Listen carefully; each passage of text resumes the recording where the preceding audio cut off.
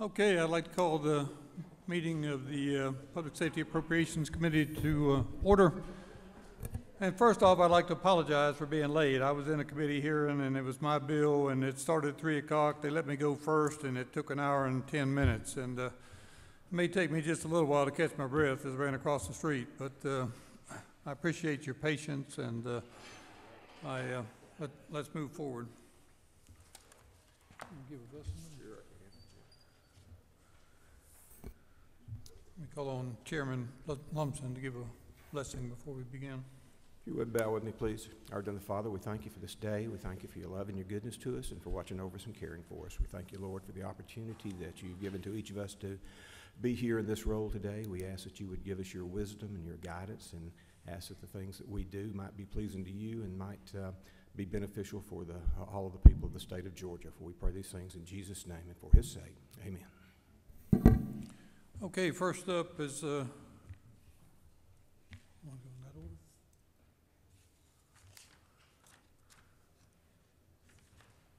they're, they're, I guess they're always first, uh, the Supreme Court. Mr. Chief Justice? Which one is that? Uh, Thank you, Mr. Chairman, for the opportunity to present the Supreme Court's fiscal year 23 budget. Uh, I'm honored to to be with you and the members of your committee, Uh, and I'm honored to be uh, joined today by Chief Justice, Chief Justice David Nahmias, uh, our Fiscal Affairs uh, Representative Regina Jones, and of course, our our Clerk of Court, T. Barnes, who, if I'm I'm unable to answer your questions, I'm sure they'll be able to handle it. Um, I know you're working off the governor's worksheet, which is page six, um, and I'll go through these items with you. Um, Happy to answer questions uh, along the way or at the end if you have any. So in section 10, items 1.1 through 1.5 are required and pass-through items. Um, I covered these briefly in the amended budget, but I'll cover them again now. Um, 1.1 is going to require an increase uh, from what was uh, originally in the governor's budget of 20,078. That number's now been adjusted to include uh, changes in the uh, covered daily allowance days and commute mileage for a new justice and for other justices. The change there is that number is now 53,954. And that covers, again, increased amounts necessary to cover changes in the daily allowance days and uh, for the additional justice, Justice Colvin, as well as for additional justices on the court. Uh, Item 1.2 is an annualized amount. It is an increase for the justices' ERS plans, plus an increase in the FY23 employer rate, um, and that amount remains consistent with what was in the original budget. Next, item 1.3 is an annualized adjustment to agency premiums for the Department of Administrative Services administered self-insurance programs. That amount remains consistent with what we've previously presented. Item 1.4 is a revised request. We had originally requested on that line $2,189. That is an annualized increase in a for, uh, for a salary adjustment of the Georgia State Trooper um, in light of pay raise issues and increases in those costs. That number is now 10,584 last pass-through and required amount is um, simply a request in legal research contract fees as that rate has gone up, and that rate remains the same at 684. So those are the required pass-throughs uh, and um, amounts. Next, item 1.6 is the restoration of the FY21 cut. That re- amount remains the same as previously presented by the governor's budget. Next, uh, we have some enhancement requests. Uh, Item 1.7 is a request, long time coming uh, and needed, for one floating staff attorney position at the Supreme Court to assist really across chambers, uh, all nine chambers, with extensive workload and to handle workload for an individual justice when one of the justice's staff attorneys or law clerk is, is on family leave. The amount uh, there includes the $5,000 pay raise that has been proposed by the governor, uh, and that is uh, 159,708 is the total for that request on 1.7. 1.8 is a enhancement request for two central staff attorney positions at the Supreme Court. One of those positions is to pr- handle pro se filings. Uh, You might be surprised, as I was, to find that 40% of the filings that we get at the Supreme Court are by pro se litigants. They're creating quite a bit of work uh, to review those filings um, and to respond to pro se litigants um, on pro se matters. So one of those is to handle pro se matters, self-represented, and prisoners, uh, and some habeas cases. The second position would be a regulatory position. As you- As you know, the Supreme Court of Georgia has administrative responsibilities relative to the Office of Bar Admissions and the State Bar in bar discipline cases. And we also have discipline authority over judges relative to our role with the JQC. Um, I would remind the, the members of the committee that judicial discipline cases are up. Um, and so we need some assistance in screening those in our central staff um, as those come up. In addition, probably not known to many, but the JQC rules provide that the clerk of the Supreme Court also serves as the clerk to the JQC. And so she's essentially a trial court clerk. All the hearing panel matters that, uh, contested hearing panel matters that are before Judge McBurney and his panel, um, including discovery and motions and everything else, have to be handled by our clerk. Um, and so that is quite a bit of responsibility, particularly with an uptick in judicial discipline cases being, being handled by the Judicial Qualifications Commission. That request to include the $5,000 pay raise for state employees is $319,417. Um, I then move to better news, item 10.1.9. We had originally requested in the uh, FY23 budget a 3% salary adjustment for law clerks at the top of our staff attorney pay scale. Um, The last 2% increase was in 2018. Uh, We were requesting $72,773. We're withdrawing that request and deferring that and, and hope to bring that back to you maybe next year, but we're, we're withdrawing that request from this, this budget request. In addition, um, there's another amount, uh, item 1.10, which is the purchase of enterprise document management software. That's really digital archive software to allow us to, uh, to digitally and cloud-based store uh, much of our HR and fiscal records. And that amount remains unchanged. The last three amounts are as requested by OPB and include the following. Um, The last one item is we're, we're asking for 648-211, which includes the annualized $5,000 pay pay raise for uh, cost of living adjustment for full-time benefit eligible state employees. Uh, That would be the first COLA in 14 years. Um, Second, we're asking for uh, an enhancement uh, to establish through the employees' retirement system uh, contributions for the payout for forfeited leave, so it won't create a liability on our agency. We're having to pay out a lot of leave that's, that we're not prepared for. That's 584, 671. And then lastly, in order to accommodate that that doesn't occur again, is uh, an amount of 123, 169, which would allow employees to withdraw up to 40 hours of eligible leave as pay on an annual basis, so it wouldn't accrue and ultimately result in this contingent liability to our court. So I'm happy to answer questions. That is the budget request from the Supreme Court, and we appreciate your favorable consideration. Any questions? Do we have any questions? Representative Holcomb. Mr. Chairman. Um, Thank you, Justice Boggs. Um, One of, one of the themes that we've heard repeatedly has been on the issue of turnover of personnel. Can you just describe for um, your staff, uh, do you have fairly low turnover rates? Are you able to retain your people, your law clerks, attorneys, et cetera, um, things like that? Yeah, you were very, you were very kind a couple years ago to fund a term clerk position for us, which by its name is a term position that only lasts a year, and so those folks are in and out usually within a year.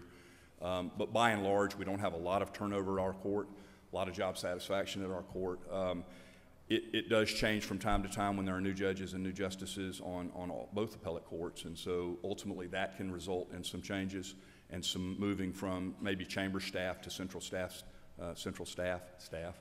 Uh, But in any event, not a high, not a high rate. Okay, to my thank you. knowledge. You're welcome. fair amount of turnover of justices. Fair enough. And I, I regretted reading the paper the other day of one. That's right. I, I hate to see you go. We do too. Thank you.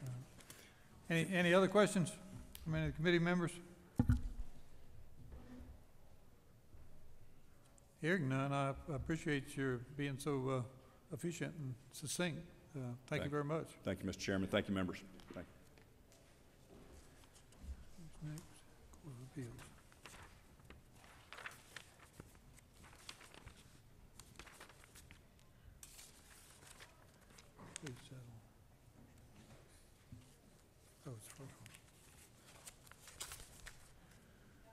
Court of Appeals.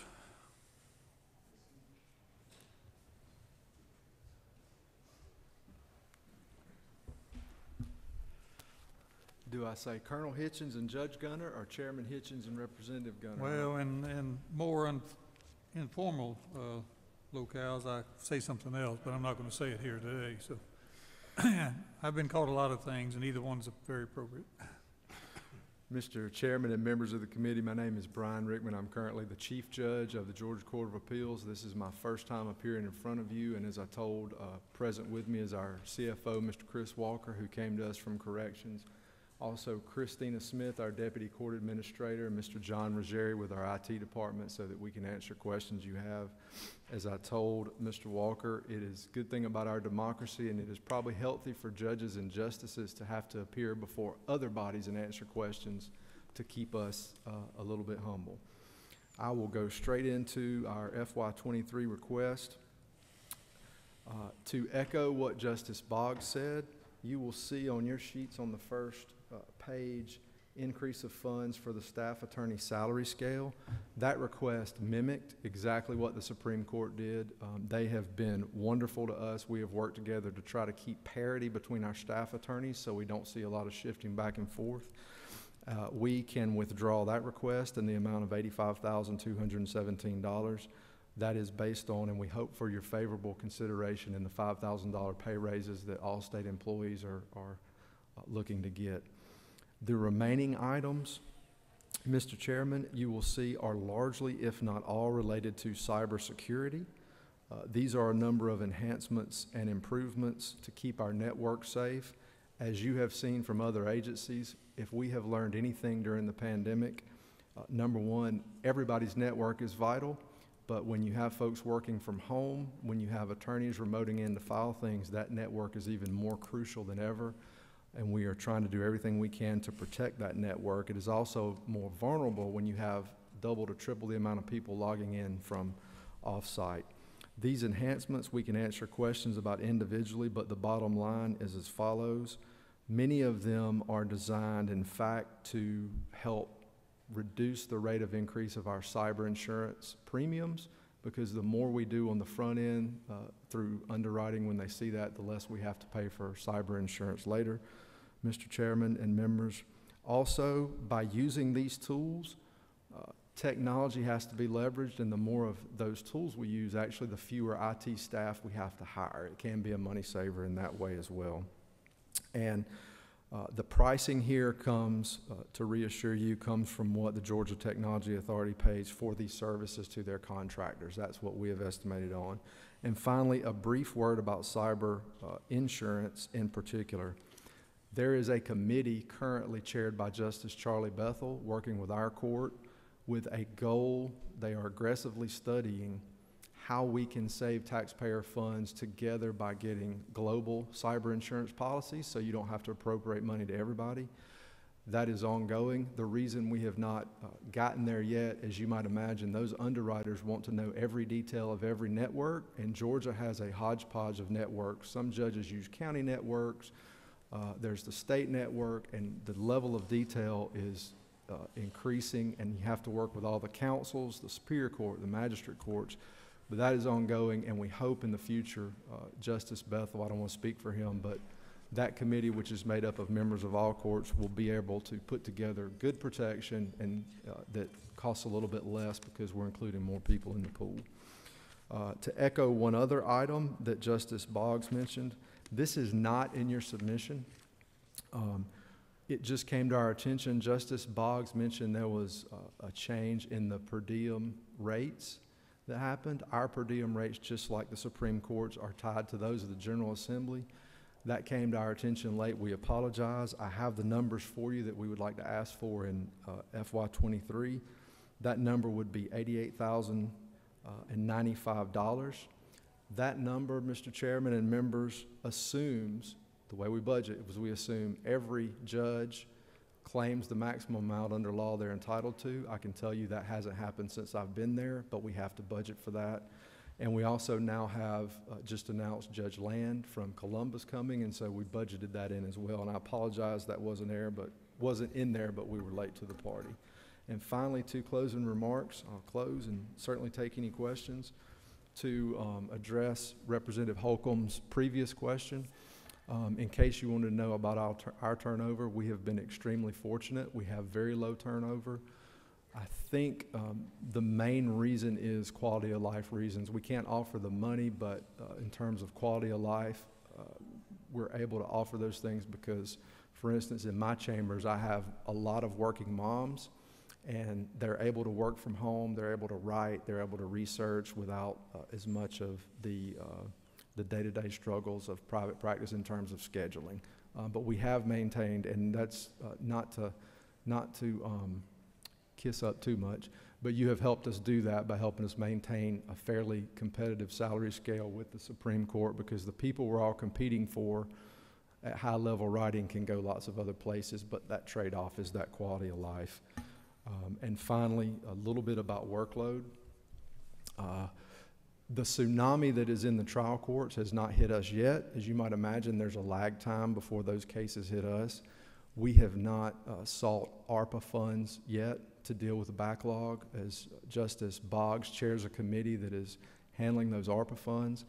There will be a time in the future when we will do that for some temporary positions, but in keeping with our colleagues on the Supreme Court, we recognize that it's our trial courts right now that need to be in that first round of funding. They're the front lines, and that's where the game is at right now in terms of picking up pace. And I thank you for your attention, and uh, we're here to answer any questions. Do we have any questions from the committee? Representative Holcomb? Thank, thank you, Mr. Chairman. Thank you, Mr. Chief Judge. Uh, Is there still an issue with one judge being suspended, or has that been resolved? And if not, do you have a sense of the time frame on that? It has not been resolved. Um, That judge is still suspended uh, procedurally. That uh, is pending before the hearing panel.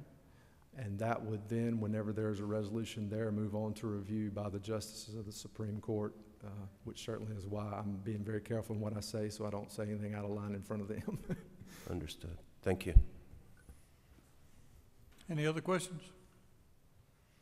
Well, once again, we thank you for coming. You were, you were uh, very adroit, and uh, I think, uh, I think you did a great job. Thank you, sir. The Superior, Superior Court.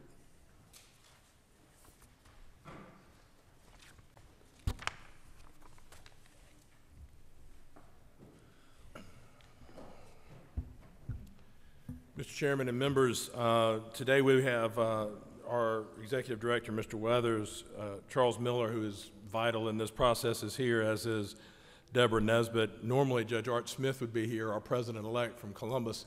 He's been a little under the weather, and so he is not here today. We are on page five of your overall outline, and we do have a handout that I'm going to address that was sort of a late addition or a, a, a- an observation. Uh, I think Mr. Groom knows about that. Start with nine point nine point one. I I know that I'm not going to insult your intelligence. We were here just the other week, but we have sort of a three-part budget. The council office, the district court administrators, and then the judge's budget. Three separate pieces make up our budget. In nine point one point one, um, that is a request that we had made, uh, in November, before we knew anything about any, of the, the the intentions of the governor relative to um, trying to retain some of our quality people that we have. My executive committee sort of charges me with what to do. We have not voted because until everything, the ink is dry, you know, it's still up in the air, but we are realists and we are team players and we understand that if that is, if we are fortunate enough to be included among the number who are to receive a $5,000 raise, we, we understand that you will probably allocate this, these funds elsewhere. Is that a good way to say that? Um, And under nine point two point one, we move to the district court administrators or JADs. Nine point two point one, in twenty twenty, their funds, almost all of their operating funds were cut. That they really had a very difficult time supporting the judges as they do in a lot of the districts. And some of the districts, they are the only technical and, and back support that, that the judges have. In other districts, they, they have different roles, I guess. But in that, we are asking that you, because we had, we had uh, district court administrators who lost their offices, they couldn't afford to pay for them. They couldn't afford to travel because they couldn't get to where they needed to do. But this was all during the beginning of the pandemic, and we didn't know what was coming. So that was the cut that, that had to be made, and we understood that. But they just sort of sheltered in place and did all that they could. We're asking that you restore uh, them back to the only where they were pre-pandemic, and that is the number reflected in 9.2.1. In 9.2.2, that also is going to be the same, uh, if we are to be if graciously included in the $5,000, we understand that you will probably allocate those funds elsewhere. In 9.3, we begin what we call the judge's budget, and 9.3.1, point two, point three, and point four are essentially pass-throughs. In other words, we- we have a little less money than what we had budgeted, that we have to do an employer contribution, so there's some money coming back this way. And we have three judgeships that are already up and running and approved, this is just the rest of the year for them. Now, 9.3.5, point six, and point seven, all are bills that have either passed or are pending either in this House or in the Senate, and, are pending in the Senate. And those are for the three judgeships that we had asked to fund for this particular um, budget request. And that would be a half year as to each of those. I guess it's a full year. It's a full year as to each of those, I'm sorry. It's a full year as to each of those. 9.3.8, the senior judges, as you know, we are able to access some ARPA funds to, to get senior judge help, but they are limited. We can't do, they, they are to be targeted to senior, to serious violent felonies or the offset of, se- of serious violent felonies. So we are asking that we have the, the 10 days be restored because in addition to the ARPA problem, a lot of our circuits didn't get ARPA funds. A lot of our circuits either didn't ask for them or based upon this represent, that we would have it in this budget, didn't ask because they, they, they didn't need as many. So this was a, que- a request that we res- would go to 10. I think at one point we had gotten to 15 pre-pandemic, and we're asking for a restoration to 10. Um, 9.3.9 is the same. If the judges are to be included in the raise, we would, we understand you're probably going to allocate these funds elsewhere.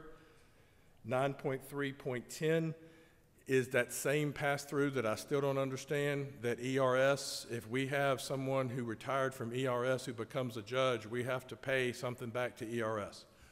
It is a pass-through, it's pretty solid that that is what we are to do, and that is a pass-through number. Um, Now, the handout is now going to come at 9.3.11. Again, we are very hopeful that our law clerks will be um, included in the $5,000 raise, but more towards the points that were initially made by Representative Holcomb. We need to get staff attorneys, law clerks, whichever phrase is used, to a starting salary of $50,000.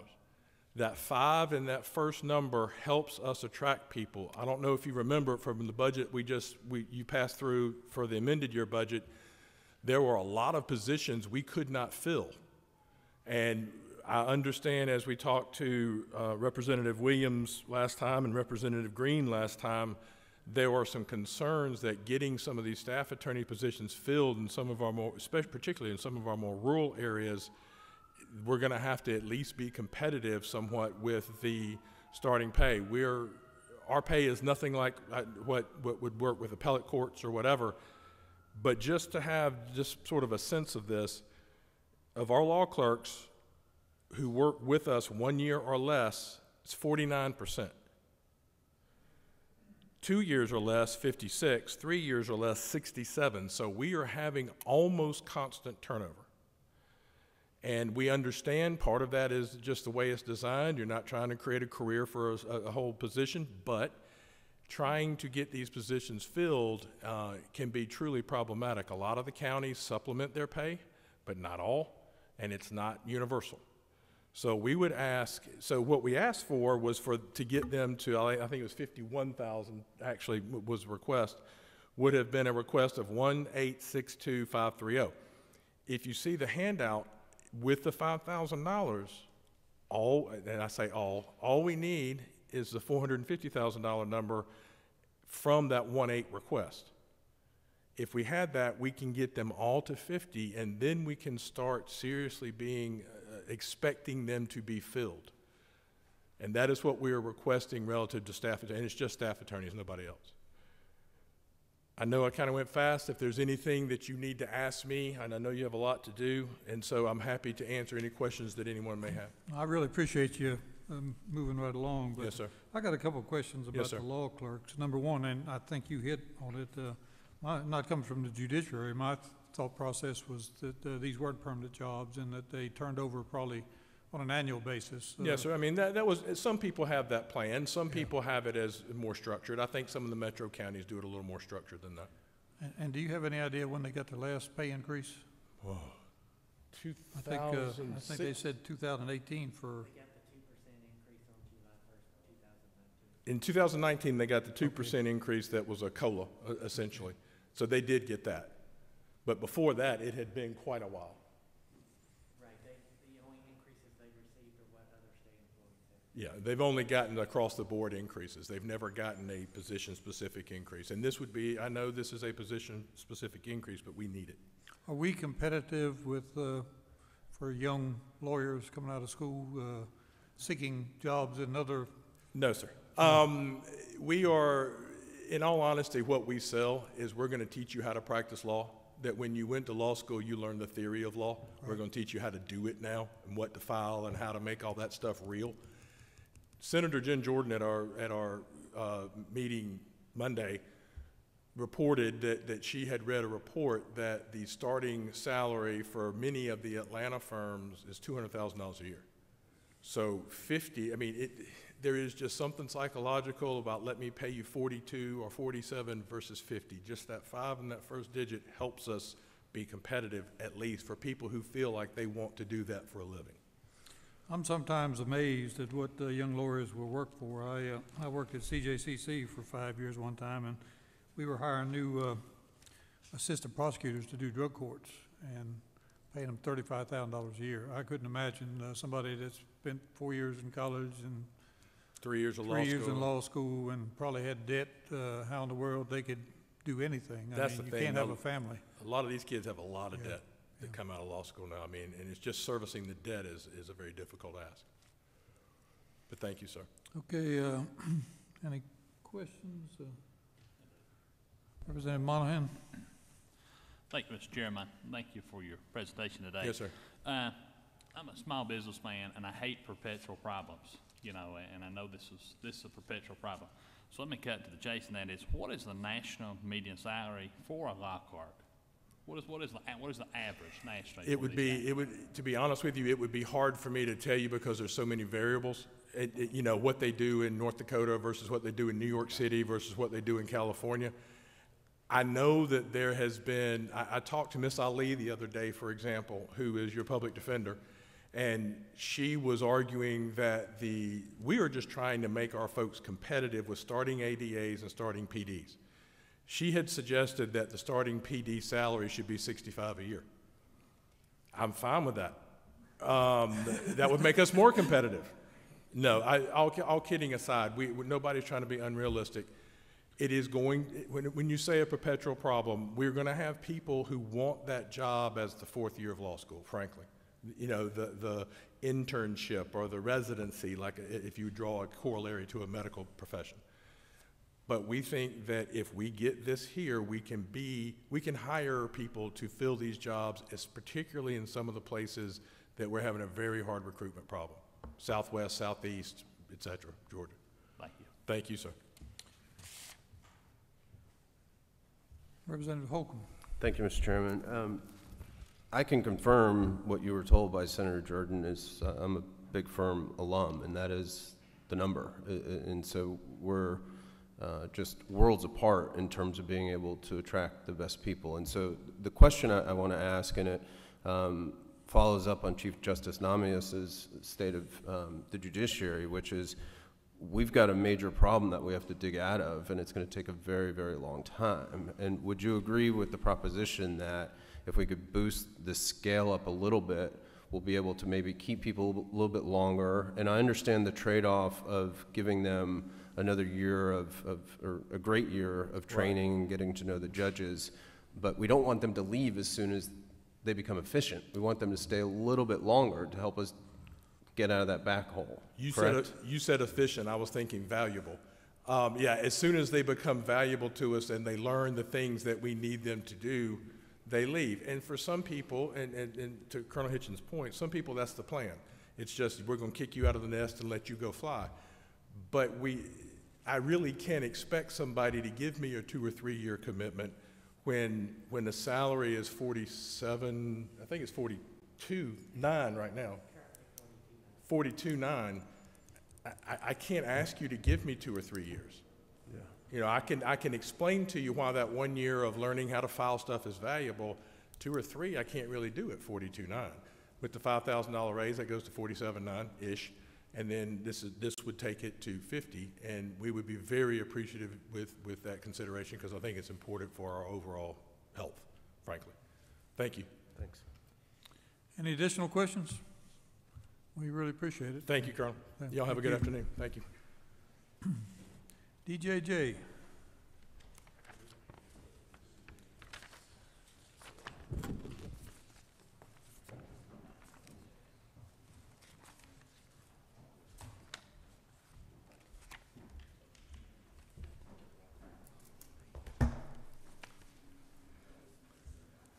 Good afternoon, Mr. Chairman and members of the good committee. afternoon. We appreciate you coming back again. I hope, uh, I hope we don't keep you for an hour like we did last time. I'm, I'm gonna be short, and I don't know about y'all.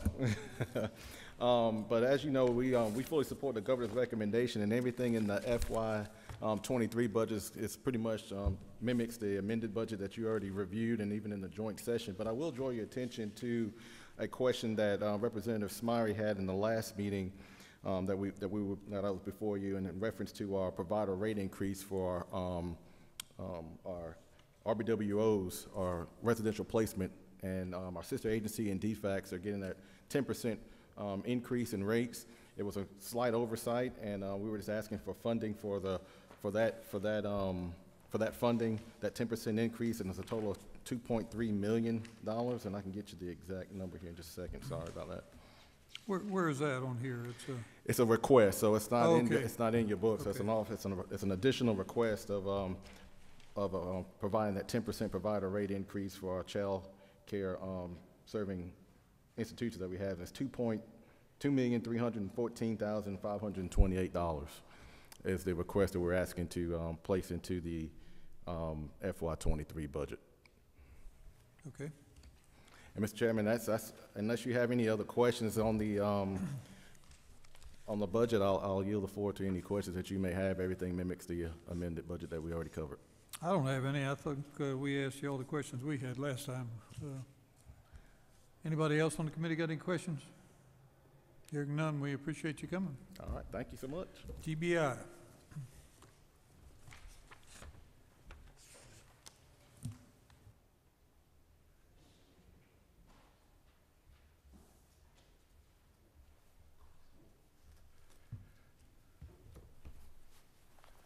Need to learn a few lessons from Commissioner Oliver there. He knows how to get it done, doesn't he? So, good afternoon. Thank you so much for the uh, opportunity to speak to you, Colonel and gentlemen. Uh, I won't uh, go over the statewide changes. I know most of you are uh, certainly aware of all of those, but I'll move right into the three areas that uh, uh, the governor has recommended in his budget, starting with 30.3.6.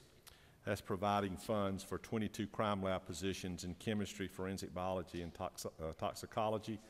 That recommendation includes 15 crime lab scientists, six in chemistry, six in biology, and three in toxicology, with five lab techs and two evidence receiving techs. I will tell you that in the majority of backlog at the lab, about 67% of it lies in chemistry with drug cases. And so uh, Uh, We'll be putting, hopefully, if this passes, six additional scientists in that area to begin working on it. The second backlog area, about twenty-seven percent is in forensic biology. We'll be placing six scientists in that as well. Uh, I do want to report to you that our work uh, with the forensic biology section, particularly in sexual assault kits, is paying off based on this committee's work uh, in support of us getting additional scientists. There are 709 kits, sexual assault kits pending over at the crime lab. 611 of those are actually in progress being worked on. So uh, I'm very pleased with, with that, those results, how we've uh, turned that around, and out of the 709, 611 are actually in some stage of progress. Um, we consider anything a backlog that's been with us over 30 days, and so 531 of those kits are uh, what we consider to be backlog cases just because they've been with us uh, past the 30-day time frame. But I do see a place there with our new scientists hitting the ground running where we're actually going to get uh, to a point with sexual assault kits where we're staying on top of them the way that ideally we, we want to and we should. Again, uh, the overwhelming majority of those are in some form of progress as we work along and try to uh, uh, finish the kits and get those done. I will also tell you, too, that our uh, outsourcing program that you all have graciously supported is working. Uh, We're very pleased with that, with that as well. And I do foresee the day with new scientists on the ground, particularly if, if it works out where they're, they're bumped up with this salary increase, that they'll be staying with us longer. Uh, Out of the GBI turnover rate, uh, the- the highest turnover rate is with those young scientists, about nine percent. Uh, The reality is, for example, I'll, I'll give you a great example in our ballistics section. The, the backlog in ballistics percentage-wise is relatively low, but as I've stated before, those are extremely important cases. They're murder cases, they're aggravated assault cases, they're cases where, where there's a, a victim and something needs to be done. It takes us about 18 to 24 months to train up a ballistic scientist to get, uh, uh, to, to get uh, that individual to the stage that we want them to be, to the high standards of the GBI crime lab. And the reality is that uh, our federal friends will swoop in as soon as they're uh, qualified and, and trained and have been to a courtroom four or five times and been qualified as, as an expert. Our federal folks will come in, offer them more money for less work. And uh, we're losing them. We're losing ballistic scientists to, uh, to the federal authorities and uh, to the military. And the truth is, I, I, I, I try not to say this terribly much, but the truth is, I, I can't much blame them, you know, where, when they can go down the street uh, and make more money for less work. And, and so I, I really believe, based on my discussions with the, the crime lab director, that that additional bump up in money would go a long way in keeping those young scientists with us. A number of them, as we, con- we conduct exit interviews with every person that walks out the door. And in the exit interviews, we've had a number of them tell us, I don't want to leave here. I enjoy it here. It's good work, it's good camaraderie, it's, it's a good place to be. But the truth is, at that young age, um, they're not staying any length of time for retirement purposes, and they're taking those positions that are offered to them. So I, I do want you to know, as, I, as I've told you before, every year that I've stood in front of you, the crime lab backlog numbers in the medical examiner's office, which I'll touch on in a moment, are two of the primary issues that concern me as director, and it's something that we're focused on. Uh, Assistant Director Melvin is with me, and CFO Connie Buck, and it's something that I think they would confirm that is extremely high on my radar. But, but I am strongly convinced that with an additional bump up in the money that the legislature is considering this year for all employees, including ours, that that will go a long way in, in helping those young folks decide to stay with us. And if they do, once we train them, they turn out the work, they churn it out, and and uh, they, they do a good job. They're well respected around the state. As a former prosecutor, I will tell you unequivocally that they help make those cases. Uh, they, they convince juries what to do uh, in, in those cases, and we want to keep them and, and make sure that they stay with us a long period of time. And so, uh, these additional positions, along with that potential additional funding, will go a long way in that regard. Speaking of the medical examiner's office, in, uh, in 30.3.7, the governor has recommended increased funds for 10 positions in the medical examiner's office, including three new doctors, six what, uh, death investigative specialists, what we call DISs, and an, uh, and an administrative position. I will tell you that we're learning, and I'm learning. Um, I was teasing, we, we have a brand new chief medical examiner. He's coming on with us March 1. I'm extremely excited. It's a gentleman who was one of the original four medical examiners in the crime lab. Uh, uh, Dr. Jeffrey Smith. Dr. Smith was one of the original four doctors hired over there and went out and went to uh, other locations and is coming back with us to run that operation effective March 1. Our newest hire uh, is, is a young lady who is one of our fellows. She actually served a fellowship with the GBI. We currently have two fellows now. I have learned, um, I tease Dr. Smith and my doctors over that I've learned a lot more about medical examiners than, than I probably ever wanted to, but, but I've learned that in the future we're going to hire doctors from those fellowship positions. That's where we're going to get them. My goal, and it's an ambitious goal, but my goal is to eventually make the medical examiner's office into the absolute finest training place uh, in the United States. And we can do that. And I'm convinced we can do it. I'm convinced that we've got the right man to do it in Dr. Smith. We're out recruiting now nonstop for doctors. Um, th- these three positions, I'm, I'm so gracious and so, so pleased and proud that the governor has been gracious enough to recommend those. The reality is, it's going to be hard to find them. We have about 560, 570 board certified forensic pathologists in the United States for about 1,100 jobs. So the math just doesn't work. And as I've explained to, to my good friends over here, we, we, we're not competing, uh, we're competing not only against Cobb and Fulton and DeKalb and Gwinnett, we, we compete against Chicago, New York, LA, Houston, Dallas, St. Louis. Um, and so we have to be aggressive, we have to be uh, innovative, we have to have something out there that we're offering that nobody else does. And, and I believe the way to accomplish that is to, is to turn that place into the finest training facility for young uh, pathologists in the United States. And, and I'm convinced we can do it. Uh, uh, I think we have the doctors to do it. Today, uh, Connie just advised me that we were approved today for what's called continued accreditation. Just got the news today. What that means is the accrediting body that allows us to bring fellows in. We can't just bring them in because we want to. We have to have permission to do that. Uh, gave us continued accreditation today, which gives us the authority to bring in additional potential fellowships so we can bring in additional potential new doctors. But to do that, we have to have the, the staff to support that. This recommendation by the governor with these new DIS positions, the new admin positions, the new potential doctor positions does a twofold, has a twofold purpose. It helps us cut into the cases that, that, that are there, the number of bodies that we're seeing day in and day out, and it's been a tremendous uptick at the lab at, at the, at the uh, medical examiner's office. It serves that purpose into helping us attack those numbers, but it also serves the purpose of allowing us to lay the foundation to, to grow that fellowship program. And, and I'm convinced, again, that in the future, that's where we're going to find young doctors. If we get them here, and we get them in the morgue, and we get them to work with these, with these really good doctors that we have, and we make that job something that's attractive to those, to those folks, I believe we can keep them. Our- newest hire came from a fellowship position. She saw how we did our work and what we did there, and, and, and thankfully is staying with us and, and becoming, has become our newest doctor. Uh, the, the, the MEs work very hard. Again, uh, Mr. Melvin and I are both uh, trial lawyer, prosecutor backgrounds, and, and I will tell you without any hesitation that in homicide cases, a lot of those cases hinge on a medical examiner's testimony.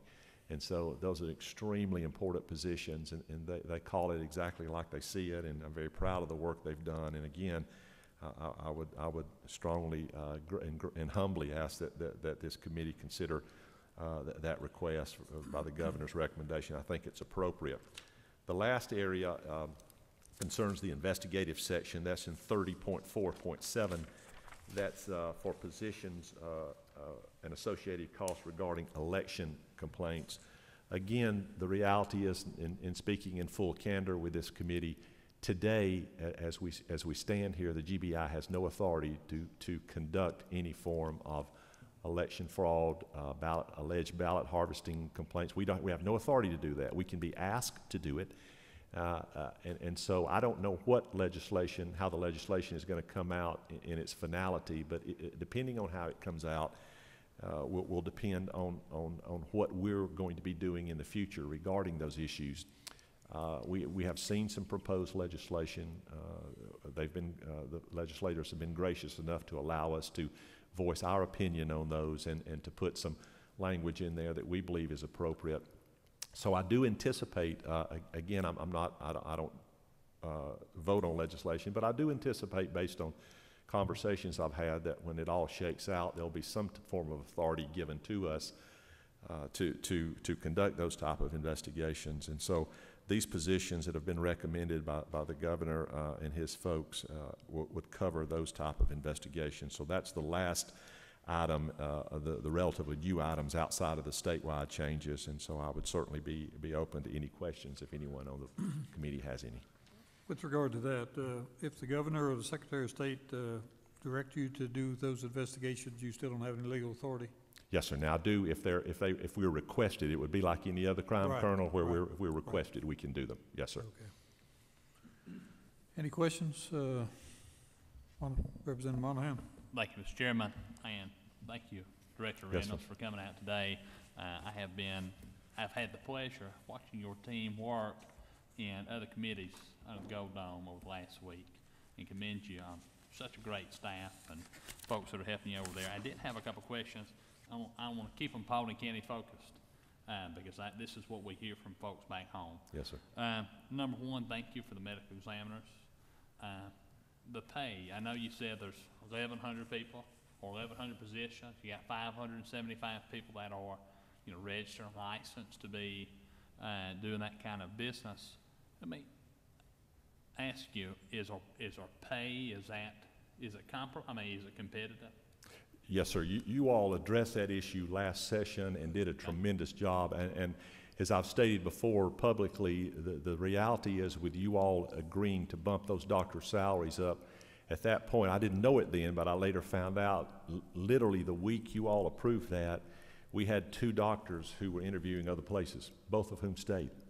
Both of whom stayed with us, thank goodness. Uh, and and uh, I, I've actually went as far, uh, Assistant Director Melvin was running point on this, we've actually went as far as reached out to, to a group that, that does a semi-headhunting uh, job in looking at medical examiners around the country, trying to put people in certain offices, and they indicated to us that currently today, our salary is in fact competitive with, with, with most places. Now, we're not going to compete against New York City and, and Chicago and St. Louis literally just doubled their ME salaries, but, but we're in the ball, in, in the ball game now where I'm comfortable telling you that the, the salary situation, when we recruit, uh, that's not the issue with us. I, I will tell you that I do think that this body, hopefully sometime in the near future, would, consider a discussion on the possibility of, of what I believe would be the proverbial carrot at the end of the stick to get folks here, and that's loan forgiveness.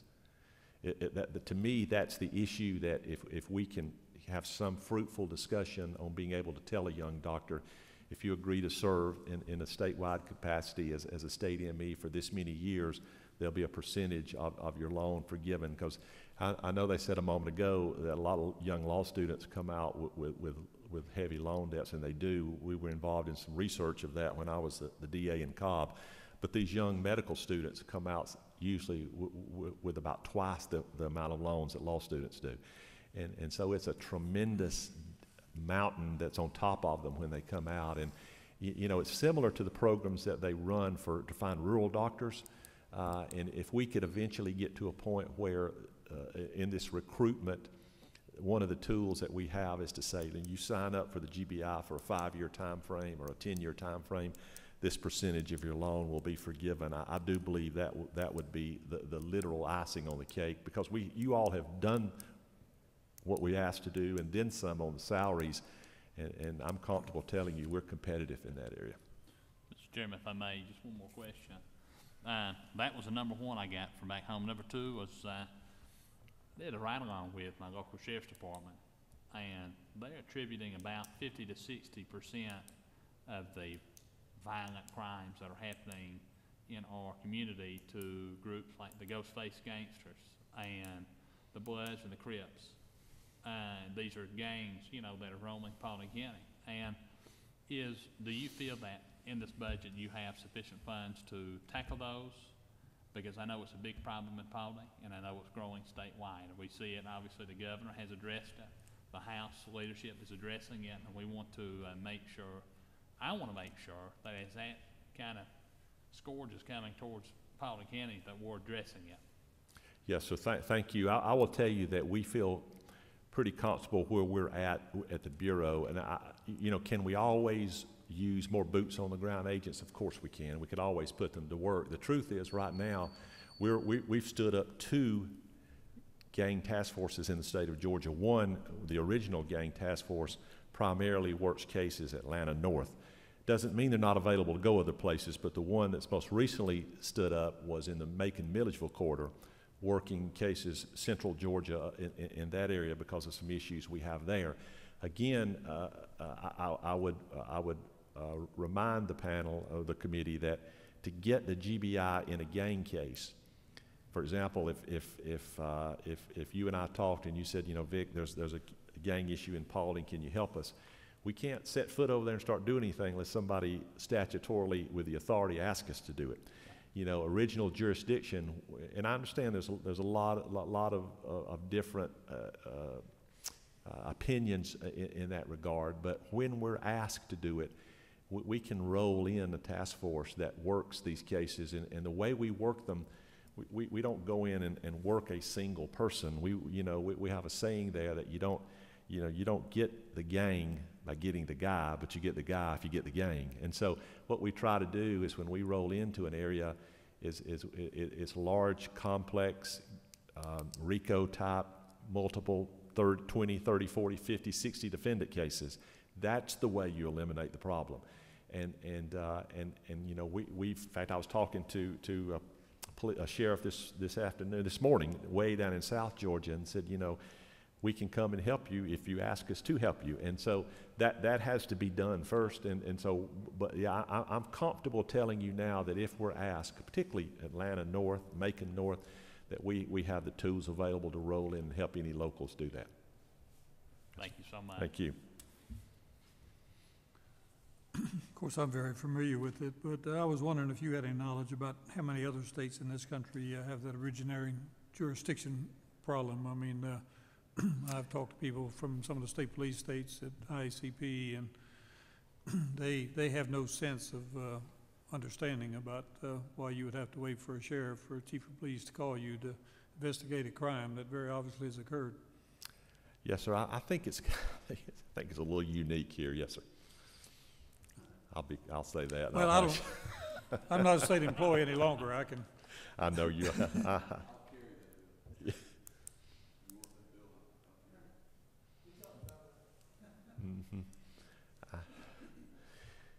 I- I- Maybe I need my lawyer up here with me. What do you know? I think I, I will tell you that the GBI. Uh, I think there's a lot of good. I think there's. I think we do a lot of good. I think there's a, I think there's a lot more good we could do. Yes, sir. Representative Holcomb? Thank you, Mr. Chairman. Um, Thank you, Director Reynolds. Yes. Uh, First, just appreciate um, the continued focus on the timely processing of of evidence. It's just critically important to um, solving cases and also to prosecuting cases, as you know. So I want to just commend you on that. I'm I'm certainly supportive of uh, the increased positions and funding there, and I think that those will will be really helpful. Um, In in terms of a question, I wanted to just ask about um, the election positions, because unlike, um, uh, I think most of the other investigative work that you do, which there is a fairly consistent workflow, it strikes me that the workflow for this may be inconsistent and perhaps even sometimes really low. So would these individuals only work on election issues, or would they also be able to work in other areas where there are needs? In other words, would they be like dual-hatted and stuff like that? So, That's a great question. I will tell you that this is the way we've looked at that issue. Uh, In speaking to, to our friends in the Secretary of State's office and who, who work election investigations, I think they indicated to us last year there were about 6,000 complaints of some sort. Uh, When they weed those down, I think there were about 300 that justified some form of investigation, and out of those, there were a relatively small amount of four felony referrals. And so what we've tried to do, Representative Holcomb, in, in looking at the legislation that was proposed and was given to us to tweak as what we thought was correct, is we, we've tried to put language in there that limited the GBI's involvement to substantive, serious felony issues. Uh, and if we do that, I'm, I'm hoping that if, if it passes under, under that, under those four corners, that, that our involvement would be relatively limited to the issues that in reality, most folks would say the GBI ought to look at that because it's serious, serious stuff and stuff that citizens would be concerned about. What we've talked about doing is if that occurs, is to set this unit up to where it's a twofold unit and in times when non-election years or when election investigations aren't appropriate, they're available to be tasked out either to work with the FBI or to work independently on corruption issues uh, anywhere in the state. And that will take a lot of those issues off of our regional offices. For example, Region 10 uh, that works the metro area, there's a, there's a lot of cases referred to them that a standalone unit could do in addition to that. I, I will tell you without any, without any hesitation that these individuals will be tasked with additional responsibilities. Uh, and what those responsibilities are will probably depend a lot on where we end up placing them. We, we're, a second potential idea for a plan is to train individuals around the state to do election work.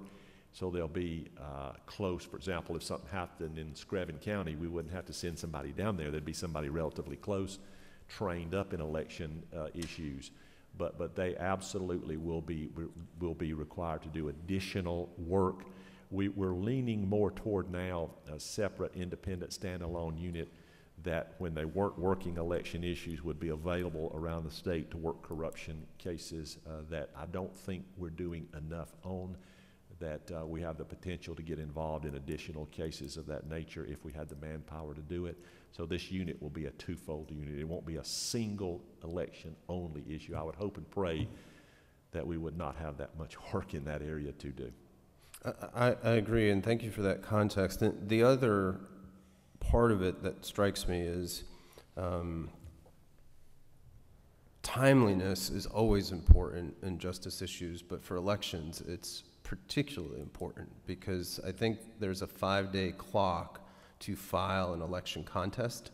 And so probably what we're trying to do is not just to identify, maybe solve cases, but to make sure that the results of the elections are correct, right? And, and so um, I, raise that just in terms of, uh, and it's an unknown, but just would the resources be able to surge because they, they would really need to? Like it's finite periods of time when the elections happen but then the investigations and the decisions would have to be made really really quickly to help have an impact on reviewing the election if, if what i'm saying sort of makes I- sense. It, it does, and I, I do think that if this, if, if the legislation, however it, it comes out in the end, I, I do believe there's gonna still have to be the need for and the requirement for those investigators in the Secretary of State's office to continue doing what they do.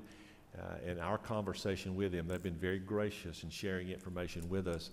One of their strength is, strengths is responding to these to these, these issues that come up i- i- with a time frame around them. The truth is, Representative Holcomb, the way we do investigations with, with, with the deep dives that we do, uh, we generally don't do it with a time frame uh, situation. Uh, it, it's just the nature of the investigations we get involved in. You know, uh, for example, officer involves, we, we, we, we really throw enough manpower to give it to a DA within 90 days. That's an officer involved shooting. So something of this nature that has statutory time limits attached to it, it's probably going to have to depend initially on, on, on the standalone investigative unit that exists in the Secretary of State's office. I see our involvement as more of, hey, this is a substantive, true issue that needs to be investigated and determine whether or not a criminal act or some act occurred. I see that as our role. The, the truth is, if, if, if we were given, pardon me, if we were given the responsibility completely the way the Secretary of State's office is, we, we can't, uh, it, 6,000, even if only 300 are valid, they looked into those other 5,700 uh, complaints. You know, I, I don't think that's what we want GBI agents doing. I don't think we can do that. Uh, I, I think Secretary of State has 23, 24 investigators over there that, that, that can do that and that will continue, and we would work with them in that regard. But I don't want to mislead this committee. My, my, my, my take on it is if it's something that, that's tied to a strict time frame, it's going to be very difficult the way we do investigations to turn it around like that. I see us more of doing the, hey, this is one of those serious felony, potential felony matters, give it to us and let us do the deep dive inside of it. Okay, and, and like, the last one, if I may, Mr. Chairman, that, that, what gets talked about a lot in terms of the potential is a cybersecurity incident with elections, and our system has some components that are um, computer-based. Uh, I know that there are some criticisms of, of the current system, but one positive of it is that it does have a paper component, whereas just years ago we didn't. It was just uh, a computer that didn't have any type of trail. Um, and I just raised that as, as, a question in terms of if there were, say, a cyber issue, would GBI have the resources to do that type of analysis and evaluation, or would that be something you would work in concert with federal officials? Uh, it's um, just, I'm intellectually curious about how that would work. I, th- I, th- I think that there's a number of potential election issues where we would certainly work with our, our partners at the FBI. We have, uh, what, what I think and what I've been told by my friends at the FBI is probably the best relationship we've ever had with them.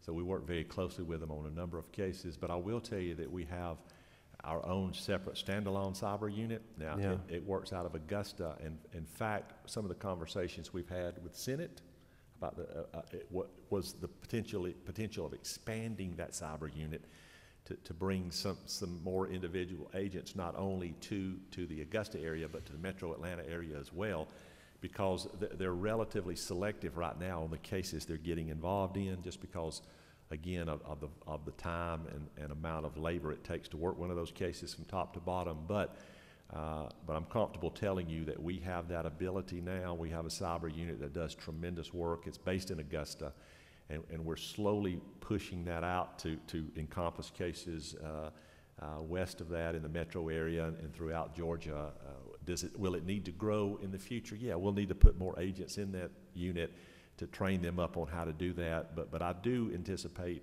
uh, I'll give you a great example. When we were approached about some potential election issues this time, uh, you know, one of the first things we did was sit down with our FBI partners and, and, and begin looking at it with them because they have some election experts there. They're always uh, made available to us. They said, anytime you need us, we'll, we'll be there to work with you to look at cases. So I'm very comfortable, again, telling the committee that I anticipate in, in the future, if we get more involved in these, that when the potential exists for, for concurrent or additional federal investigations or manpower, they will provide it. I'm also relatively comfortable telling you that we have an, uh, the existing cyber unit we have will be able to assist in these investigations as well. All right. Thank you. Thank you. Okay, Judge? Thank you, Mr. Chairman. Um, The last year I was a district attorney was in 2010. And um, uh, I'll just state this, the professionalism that came out of the GBI was bar none. Um, From the lab techs that identified drugs, ballistics, to the case agents and the work that they did in the cases, I was always very impressed with the folks, and I don't Yes, think any of that's changed since then. Uh, What I'd like to know, though, is how does your staffing compare to other agencies in other states? Um, And I was just thinking of, you have to be invited in, in the other states where they don't have to be invited in, how do you compare with the numbers? You know, it's, it, the last ASHA meeting I attended, uh, which is the Association of uh, State Criminal Investigative Agencies, um, uh, was, uh, it was sometime early fall, and, uh, and as we went around, the there were out of the, 50, the 49, 48 or 49 states that belonged to that, uh, there were probably 30 states represented. The, the problems are relatively the same state to state. Um, uh, for example, uh, crime lab backlogs. exist in virtually every state. Um, and, and so uh, the issue of having enough scientists being able to work the cases as timely as you want to is, uh, is an habitual problem in virtually every crime lab uh, uh, that I've spoken to the directors about. Uh, so that issue is relatively the same. I, again, I do think, based on my conversations, and again, I'm a relatively new member to ASHA, but in my conversations, I do think there is there is the, the, the question, the issue of us being a requesting agency is a little odd to a lot of folks, and and they, they, they say, you know, you you're this you're the should be the premier state investigative uh, investigative agency in the state. Uh, and, but I do understand too, as a former district attorney, that, you know, that, and, and I, I, i'm sure that when I was Cobb DA, I was a tad bit territorial myself. And so I, I don't condemn any of my friends for, for doing that in the law enforcement arena. But, but I do think that that's probably one issue in, in my conversations with some ASHA folks where they, they kind of do that at me a little bit when, when, when I tell them that's, that's how we get involved in, in most cases. We have original jurisdiction in, in a few areas, but, but it's not the areas that a lot of people uh, would, would think we would be, ha- have original jurisdiction in. And so uh, I, I do think, though, the problems that we face here, and again, I, if, if, if I said, you know, list the concerns I have, it would certainly be the backlog at the top and, and, and, and eventually getting the medical examiner's office the way I think it should be for the vision I have for the Bureau. But we've been pretty blessed with boots on the ground agents. We, we've always had, uh, uh, you know, I talked to Colonel Wright at the State Patrol. I, I think we're, we're pretty fortunate on our end that we get a number of folks who really want to be GBI agents. And, uh, and, and we, we're, we're blessed in that we get to select a, lot of the folks uh, that we really truly want. Uh, and so on that, that end, you know, we're, we're, we're doing, we're doing well. Can we always put more boots on the ground guys to work? Sure, uh, no doubt about it. But I think we've learned over the years that the GBI runs pretty lean. I, I think we, and, and, and I think it's worked for us.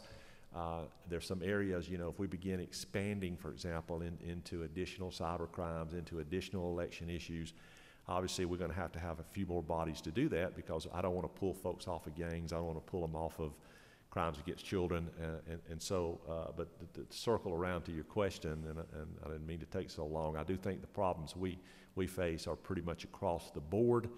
Uh, uh, uh, the one area I think we do well in that a lot of folks, law enforcement wise, struggle with is we generally always have good folks to choose from.